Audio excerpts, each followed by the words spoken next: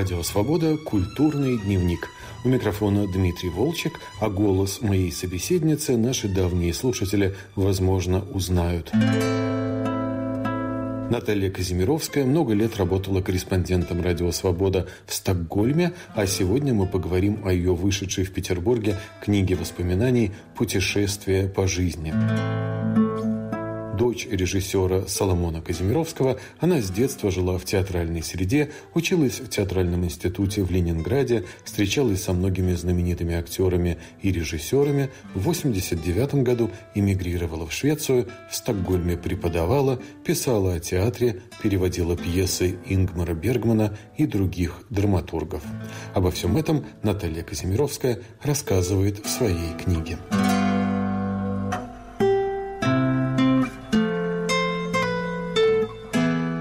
Думаю, что читателей ваших мемуаров в первую очередь поразит ваша доброжелательность. Не только к людям, которых вы описываете, но и к обстоятельствам жизни, которая, естественно, была не всегда простая. Вы относитесь ко всему снисходительно, весело. И я думаю, что тяжелые проблемы, неприятности, несчастья вы как-то вводите за сцену, так что зритель их почти не видит. Это особенность вашего характера, я думаю.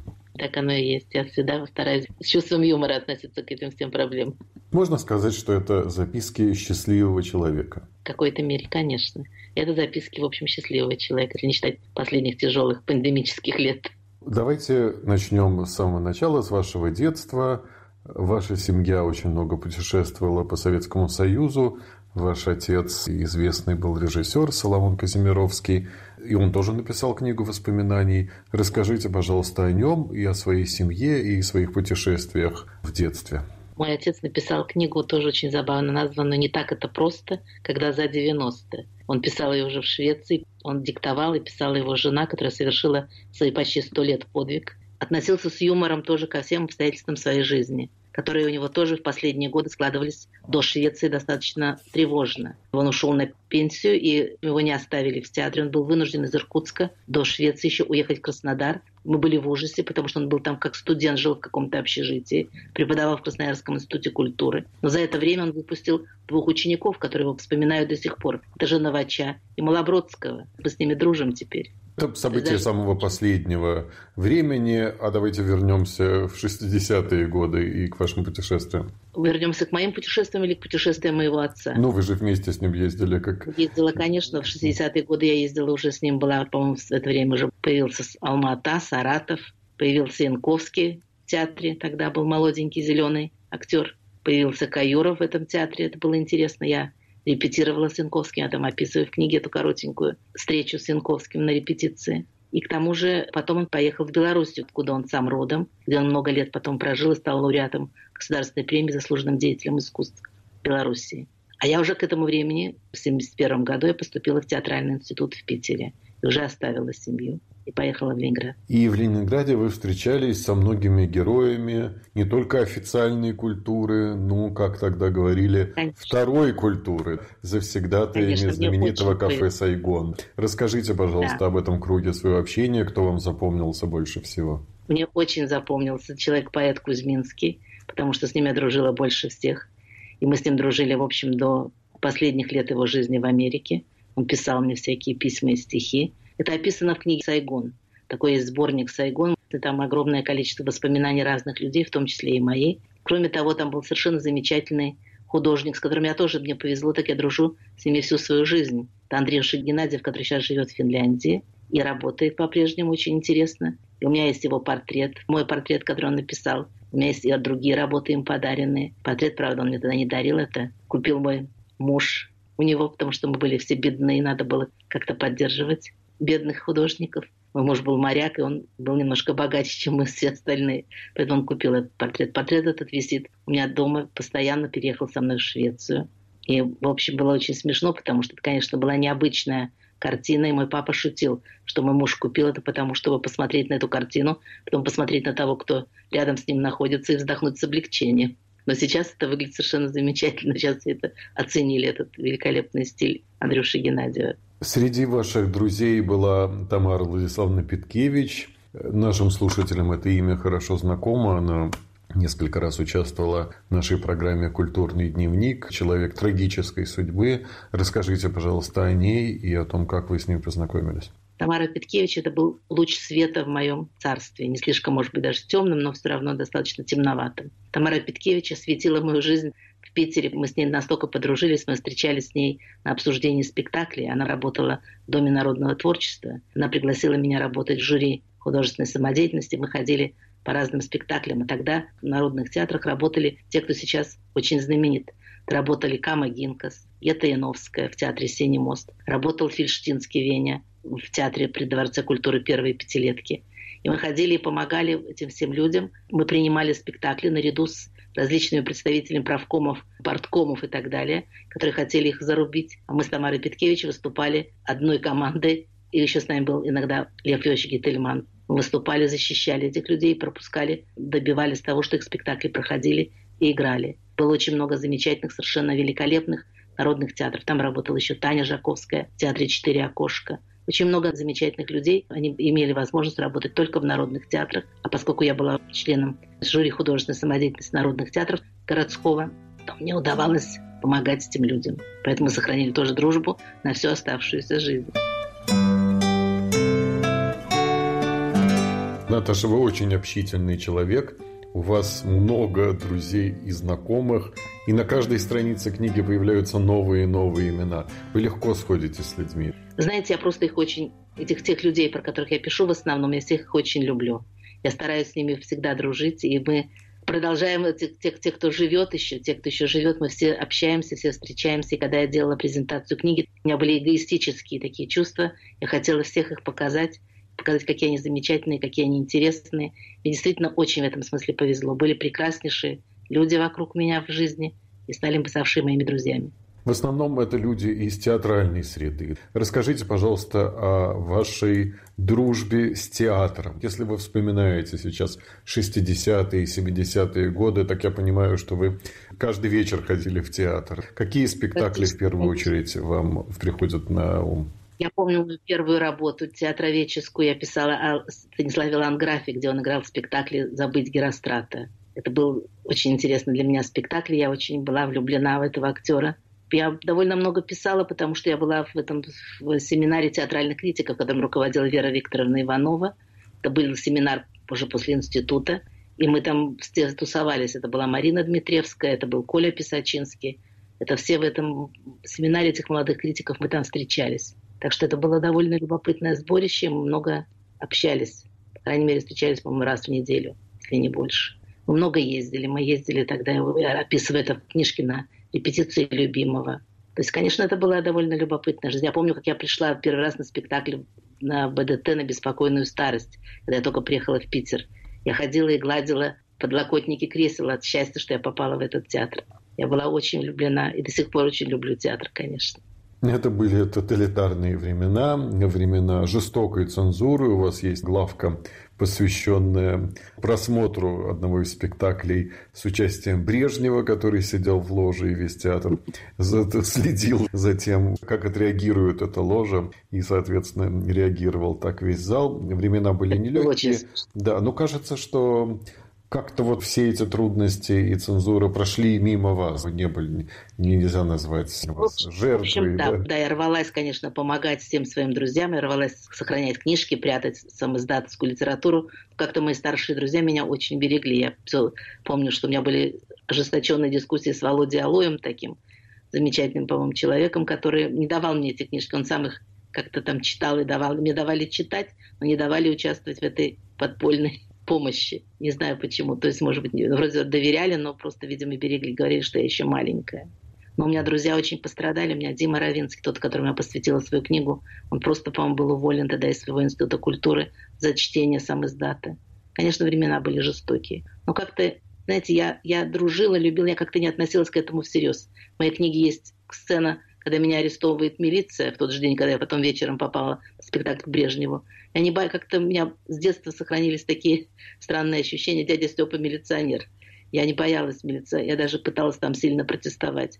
Но это было, конечно, довольно забавно. Я все могло случиться, но я просто этого не осознавала. Помимо милиционеров все-таки была еще тайная полиция, КГБ. И вот этого-то как да, раз конечно. В, в нашем кругу боялись больше, чем милицию.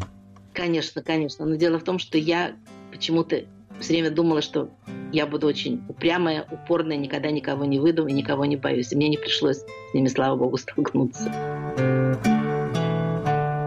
Вы и ваша семья столкнулись с государственным антисемитизмом, и это была одна из причин вашей иммиграции, и вы тоже посвящаете Конечно. этому главку в своей книге. Расскажите, пожалуйста. Конечно.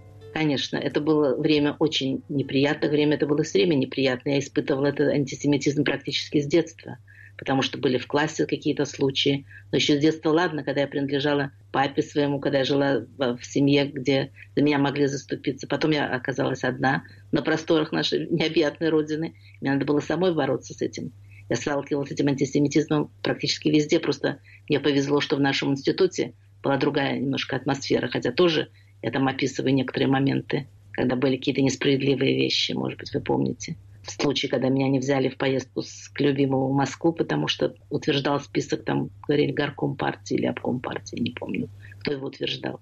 Но дело в том, что у меня это раздражение, обида, она росла с каждым днем, и я решила, что нам мы должны оттуда уехать. А потом последние годы, 80-е годы, просто стали ходить молодые парни по дворам и спрашивать бабушек, в каких квартирах живут евреи, мне стало страшно детей отпускать в школу.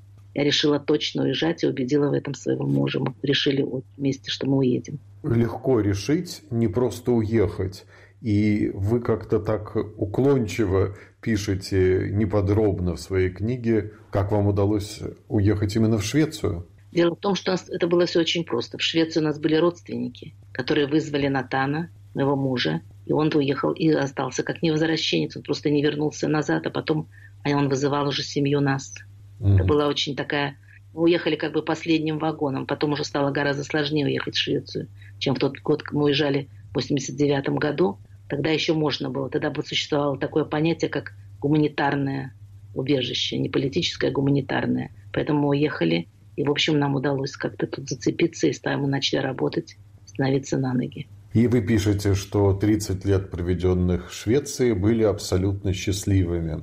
Многие думают, что эти страны достаточно депрессивные, и статистика самоубийств на это указывает. Как раз в северных странах она зашкаливает. Почему Швеция принесла вам столько счастья? Вы знаете, я не испытала это. То есть я испытала это на своих учениках. У меня были потом ученики, которые пытались покончить с собой. Это мои собственные ученики музыкальные. Но дело в том, что я думаю, что это от того, что я объясняла это тем, что у них очень мало конкуренции в детстве. И когда они потом вырастают, попадают в ситуацию жесткой конкуренции, они это просто не выдерживают. Поэтому у меня такие случаи даже были просто среди моих собственных учеников замечательных. Вот, но я, слава богу, этого не испытала, потому что, видимо, действительно я человек общительный. Как шутила моя дочь, у нас есть такая приятельница, которая очень хорошо пошла в коллектив, коллектив такого шведский коллектив. Женя, моя дочка, говорит, Света, она приспособилась очень хорошо. Я ей отвечаю, я тоже очень хорошо приспособилась. Она говорит, ты не приспособилась, ты приспособила остальных к себе, говорит дочь. Uh-huh. Так что, понимаете, я, я не испытала каких-то проблем с общением. У меня были сразу появились почти ученики, родители этих учеников. Потом постепенно они становились все более шведскоязычными учениками. Я дружу тоже со многими до сих пор. Они уже взрослые люди, некоторые даже с бородами приходят ко мне в гости. Вот, так что нет, знаете, мне кажется, что это не совсем так. Потому что шведы, конечно, очень специфические, как любой другой народ имеет свою специфику. Но когда они становятся твоими друзьями и понимают, что ты к ним хорошо относишься, они тоже очень преданные, в общем, люди. Я описываю в книге разные смешные случаи с шведским менталитетом. Но в основном мне как-то, видимо, везло на людей. Наташа, а шведский язык очень непростой. Легко вам дался? Вы знаете, я не могу сказать так, потому что для меня любой язык очень сложный. Я никогда не знала языки, живя в России. Поэтому для меня шведский был непрост с самого начала. И я не уверена, что я его настолько замечательно знаю, потому что я, конечно, могу, естественно, в бытовом плане просто совершенно свободно общаться. Я даже читала лекции на шведском языке. Я преподаю на шведском языке. До сих пор я сталкиваюсь с какими-то проблемами языковыми. И у меня было очень много всяких смешных казусов и случаев в моей музыкальной практике на своих докладах, когда я путала слова очень смешным образом. И народ даже сейчас в консерватории шутит, что им пора издавать сборник с моей терминологией, потому что она мы понимаем, почему твой учебник, который вышел потом в шведском издательстве, учебник фортепианной музыки, обучение фортепианной игре на фортепиано, почему он такой популярный, потому что у меня там очень много всяких таких казусных, смешных выражений. Но вы перевели все-таки Бергмана, так что я думаю, что ваш шведский язык достаточно хорош. Конечно, достаточно хорош. Но дело в том, что я же перевожу шведский на русский, а русским я владею, в общем, практически, я считаю, в совершенстве. Я не, не перевожу наоборот, хотя у меня были статьи, написанные в, шведских, в шведской прессе. Вот, но это было значительно сложнее. У меня не только Бергман, у меня еще много переводов другой шведских пьес, которые играются в России, игрались и играются в России. Так что я с удовольствием перевожу. Я очень люблю переводить пьесы. хотели познакомиться с Бергманом, хотели взять у него интервью, хотели вести с ним переговоры по поводу постановки его пьес в России, но он категорически уклонялся от общения, ну не только с вами, а вообще с журналистами.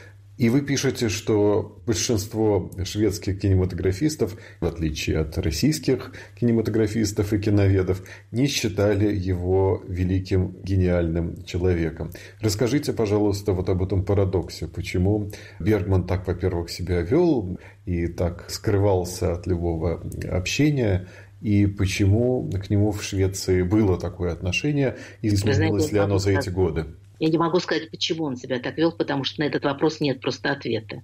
Он вел себя так же странно очень, когда репетировал в театре Анжей Вайде, ходил по тем же коридорам, и они могли столкнуться, и они даже не познакомились, как мне известно, практически. Он также себя вел, когда здесь работал довольно долго Тарковский. Он восхищался им, я об этом писал, но он никогда с ним так и не познакомился, хотя было много предпринято всяких попыток их познакомить. Он абсолютно категорически отказался встречаться, когда сюда приезжала Люба Аркус, Плахов. Андрей, когда они приехали сюда и делали специальный выпуск журнала о Бергмане, он даже отказался написать, дать им роспись на своей первой страничке. И ответа на этот вопрос у меня не существует. Так же, как и мне, пришлось к нему пробиваться не лично, а через Эрланда Юзефсона и его жену, которая была театральным агентом Бергмана – и как, почему так получилось, что мне повезло, что он дал мне разрешение, до сих пор тоже для меня какая-то загадка. Но это было очень приятно, потому что он не только дал это разрешение, он даже послал со мной вместе письмо в театр Вамхат, который ставил его пьесу, ставил его произведение после репетиции. Он отправил это письмо с поздравлением театру и пожеланиями успеха. Я думаю, оно хранится в Амхате. Надеюсь, что они его не потеряли. Я привезла им это письмо собственноручно. Но это была очень забавная история. Я послала ему открытку, писала смешные всякие слова. Когда мне потом Эрланд Йозефсон передавал это поздравление, он сказал, я не понимаю, я говорит, попросила его, чтобы он написал. Он почему-то, услышав ваше имя, очень начал смеяться. А вот это отношение к нему со стороны шведских коллег и публики вообще, Вы оно знаете, изменилось за эти годы? Да, думаю, конечно, он сейчас принадлежит классикам. И, в общем, я не могу сказать, что я знаю это досконально, потому что я в последнее время не интервьюировала народ, а тогда мне пришлось разговаривать со студентами киноинститута, с разными людьми, и очень многие относились к нему очень критически, ровно так же, как они относятся критически к Стринбергу. Знаете, шведы такие были пуритане, и мне нравится, когда люди так себя ведут по отношению к женщинам, по отношению к семье, по отношению к каким-то вопросам, которые они порицали. Они даже не то что спокойно, я сказала бы равнодушно говорили о нем, отвечая на наши вопросы. Об этом написано довольно много в журнале «Сеанс», посвященный Бергману, что можно это прочитать. Они вообще говорят, да, хороший. Нет, не великий, хороший, хороший. Да, конечно, очень спокойно, без всякого пиетета, без всякого восторга. Я помню, как я с одной режиссершей молодой, которая стала потом довольно известным режиссером, пошла к нему на спектакль. Я тоже восхищалась, она вела себя предельно сдержанно, и на мои восторги не отклик... в общем, не откликалась. Вы сказали, что шведы пуритане. Это странно слышать, потому что у шведов как раз репутация либертинов. Это несправедливо? Это, конечно, несправедливо. Это очень... Это, может быть, был какой-то период. Моя дочь утверждает, что у родителей того поколения, родителей ее одноклассников, но это же люди, которым сейчас уже под 60, что они вроде вели там какой-то образ жизни более распущенный. То, что я вижу, люди, может быть, как-то в молодости что-то себе позволяют, но когда они уже создают семьи, там все очень спокойно. Никакой любви втроем я не замечала. Наташа, ну вы пишете, что за те 30 лет, которые вы провели в Швеции, страна радикально изменилась. В да, чем конечно. эти перемены? Перемены очень серьезные. Они, вы, может быть, знаете, я же работала корреспондентом «Радио Свобода». Я помню, были периоды, когда мне совершенно было не о чем писать. Ничего не происходило. Самым главным событием, помню, было рождение маленького носорожонка в зоопарке. Как он жил, как он родился, как он умер. Вся страна следила. А теперь у нас практически каждый день, как в обычных и в других странах, убийства, поджоги, бомбы, угрозы, криминалитет и так далее. Страна стала более открытой, страна, конечно, сильно изменилась. Я а помню, отношение к России и к русским, и к русским иммигрантам изменилось существенно? Я боюсь вам ответить на этот вопрос. Ко мне не изменилось, и у меня прекрасные отношения с большим количеством шведов. Люди на форумах русских, многие жалуются.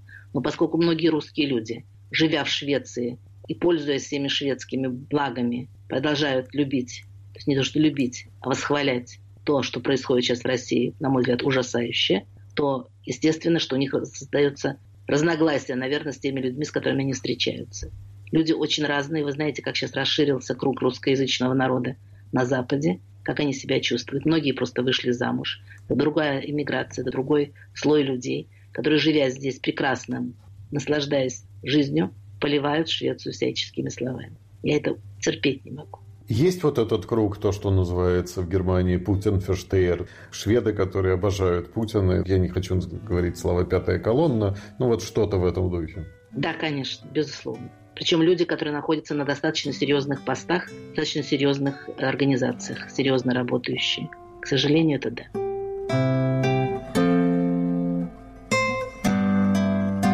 Наташа, все-таки ваша книга преимущественно о театре, поэтому я вас спрошу о том, что происходит в шведском театре сейчас. Естественно, иностранцы всегда с большим опозданием узнают о новинках, и для нас Швеция – это все-таки Бергман и так далее, но это было очень-очень давно, а, естественно, уже появились новые поколения режиссеров.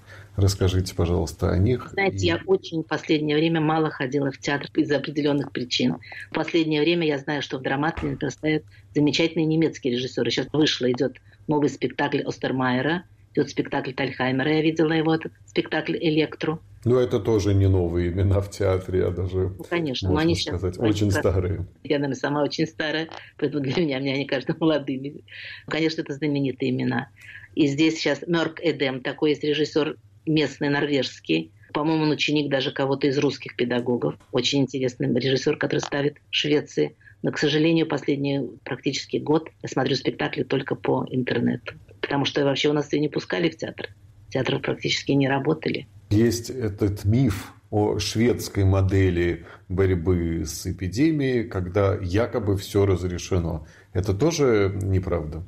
Нет, это правда, к сожалению. То есть, ну как все разрешено? Шведы же законопослушные люди, поэтому они старались держать дистанцию, стараются мыть руки с мылом. Здесь же все-таки люди живут комфортно, поэтому не существует такой скопленности в квартирах. Знаете, я не знаю, как вам ответить на этот вопрос, потому что я простой обыватель. Я вижу, что вроде бы сейчас ситуация полегче, и вроде бы действительно вакцина помогает. У меня, опять же, нет ответа, так же, как у всего мира нет ответа на этот вопрос. Я знаю, что когда у меня было ощущение поначалу, собственно, поэтому книга появилась, я заперлась на 9 месяцев в квартире, никуда не выходила. Мне мои ученики и шведы в том числе приносили продукты. Я за это время родила за эти 9 месяцев книгу. Но то, что было ощущение «спасайся, кто сам это может», это меня совершенно точно было. Я была очень подавлена в это время в Швеции. Первый раз за все 30 лет. Ну вот такого, что Швеция пошла наперекор всему миру и не было серьезных локдаунов, это правда или все-таки это, это правда. очень сильно преувеличено? Вот это правда. Серьезных локдаунов не было. Все время были рекомендации. Театры какие-то общественные места были закрыты но серьезных локдаунов, такого напряжения, такого заставления, чтобы дети ходили в масках в школе и так далее, как дети падали там в Испании в обмороке, на той же Жострове, Тенерифе, где мы жили. Потом я уехала после этих 9 месяцев на Тенерифе и прожила там 10 месяцев. Я только вернулась сейчас в Швецию. Пару месяцев, как я здесь. И вижу, что мы летим в самолете все в масках, прилетаем, получаем багаж, все маски снимают. Все стоят плечом к плечу получать багаж без масок. Довольно рискованно. Я тоже бы так считаю. Я не знаю, что это за странная политика. Я не вижу ни малейшей логики в том, что происходит, потому что я иду, например, к врачу. Врачи без масок. Я задаю им вопрос, почему вы без маски? Мне отвечают, потому что мы привиты. Я выхожу от врача, иду в лабораторию делать анализ крови. Сидит лаборантка в двух масках. Я говорю, почему вы сидите в двух масках, если вот рядом с вами в кабинете врач сидит без маски? Она отвечает, потому что я знаю, что можно заразиться и после вакцинации. Я прекрасно это понимаю, что она права. Каждый выбирает для себя свою модель поведения. Вот именно. Типа, когда я ходила здесь в маске, до сих пор я сейчас выхожу иногда в маске, захожу в магазин, меня смотрят немножко дикими глазами, но я все равно это делаю.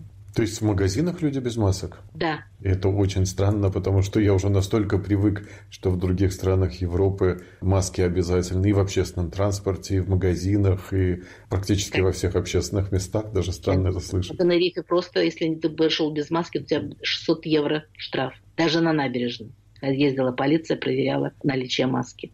Но сейчас этого тоже на Тенерифе нет, там тоже опасность, говорят, миновала. Но вообще здесь ощущение, конечно, с одной стороны, полного беспредела, с другой стороны, очень большой свободы. Шведская свобода существует. Может, не сексуальная, но социальная. Существует, безусловно. Но я не знаю, насколько сейчас это в данном случае с этой болезнью хорошо. Я испугалась очень, например. Безусловно, есть чего бояться. И опасность не пропала, но нет худа без добра.